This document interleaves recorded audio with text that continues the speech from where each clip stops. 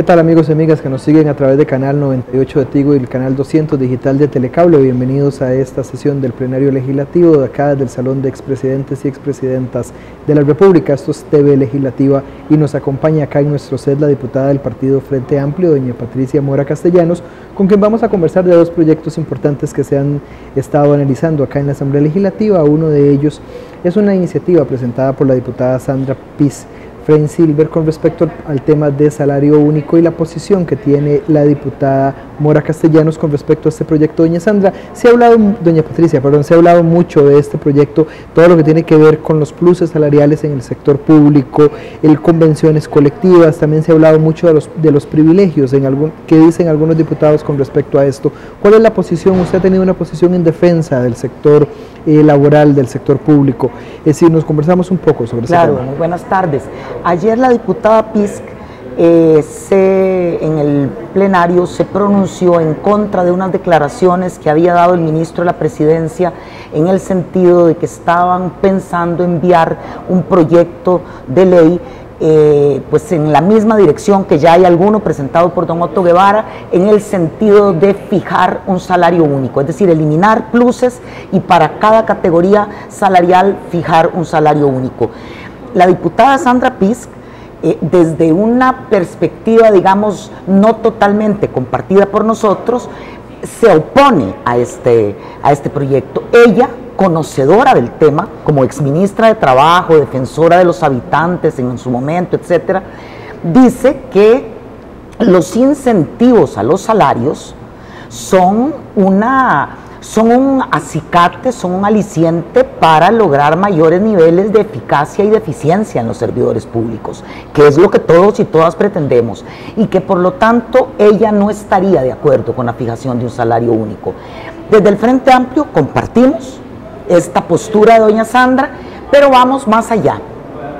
Nosotros como partido político no estamos de acuerdo en que el problema fiscal, el déficit fiscal, la crisis fiscal, como se le quiera llamar, se le quiera dar salida o solución cargando la culpa a los servidores públicos y empobreciéndoles su nivel de existencia. Nosotros creemos que aquí hay que entrarle primero a una reforma fiscal que ponga a tributar a los, a los capitales grandes, a las empresas privadas poderosas que, evaden el pago de impuestos. Es decir, queremos por eso impulsar, dar nuestro apoyo al proyecto que está en la corriente parlamentaria presentada por el Ministerio de Hacienda que tiende a frenar el fraude fiscal. Queremos también impulsar una reforma fiscal con carácter progresivo, es decir, que lo que aumente sean los impuestos directos y no los indirectos que pesan sobre todos los bolsillos de manera indiscriminada. Nosotros consideramos, y así lo hemos dejado establecido en el acuerdo que firmamos la semana pasada con el Partido Acción Ciudadana y con la plataforma sindical Patria Justa, nosotros creemos necesario elevar los niveles de eficacia y de eficiencia del sector público. Queremos a la par de eso que no granjerías, no abusos, pero que las condiciones laborales de las que goza aquí un sector eh, de los asalariados, cuáles son los que trabajan con el Estado, se mantengan y no se deterioren. Doña Patricia, el diputado Tom Solís Falleza también hecho eh, su posición con respecto a este tema y ha pedido más bien que se recorten todos los privilegios y que se elimine todo lo que tiene que ver con la dedicación exclusiva, con todos estos pluses.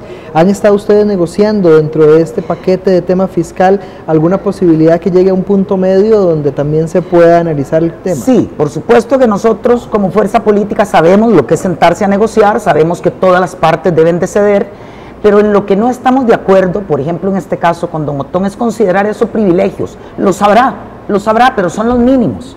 El salario promedio en la Universidad de Costa Rica, por ejemplo, que es la que conozco, es 1.6 millones de... Es decir, es un millón y medio. Eso no es un salario de lujo.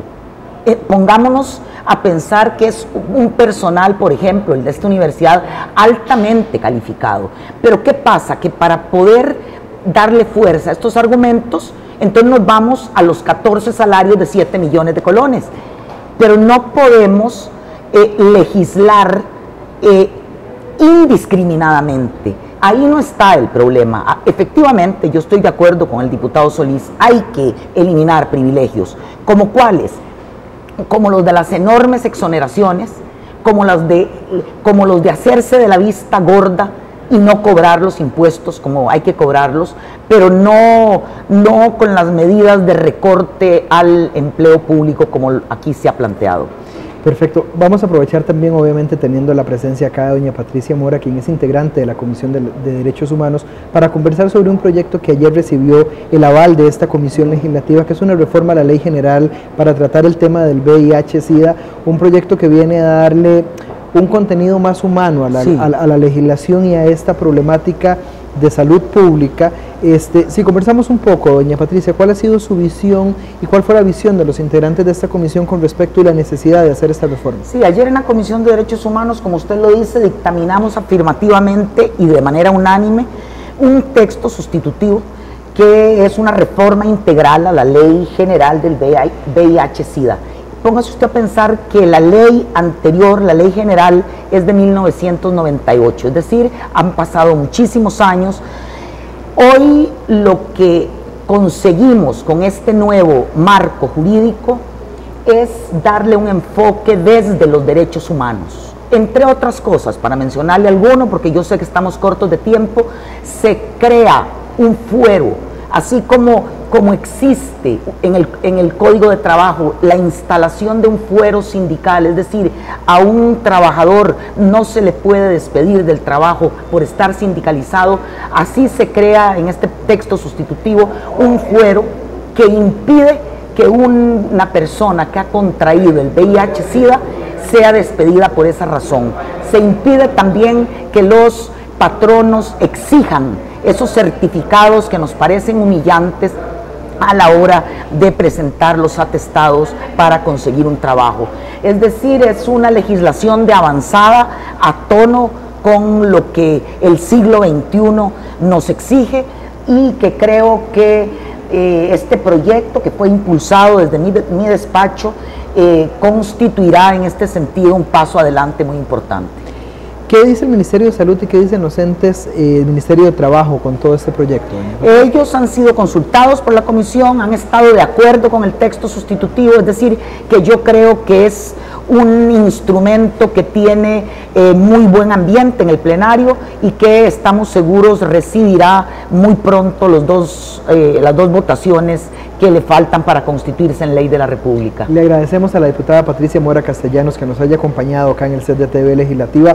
Volveríamos en cualquier momento con muchísimo más del acontecer legislativo. Ya la sesión del plenario está próxima a iniciar y llevémosle juntos el pulso a esta sesión del día de hoy jueves, último día de labores de los señores diputados.